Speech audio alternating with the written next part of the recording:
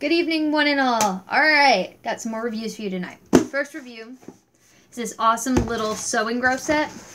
Now, this company has many, many different sets.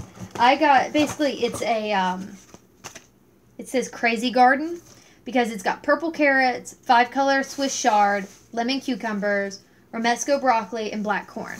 So here, they're little pictures of them.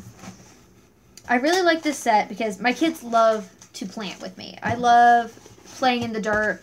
I'm a nature baby. So this set comes with biodegradable planting pots. So these are great because you plant everything in here and then you plant this in the ground and this biodegrades and so you don't have to worry about planting them a certain depth, blah, blah, blah. Comes with peat discs. These have a lot of really good nutrients in them for seeds and so it really helps them to grow quickly. Uh, basically, like you would put, you soak these and, pardon me, and put these in here, plant the seeds on there. So we got the soil part down. Now we've also got the seeds. Each little seed packet has what it is on the front. Oh, there we go, purple carrot. And then you can see the seeds. So, you know, purple carrot, black corn, lemon cucumber, five color Swiss chard, and then your Romanesco broccoli. Teeny tiny seeds.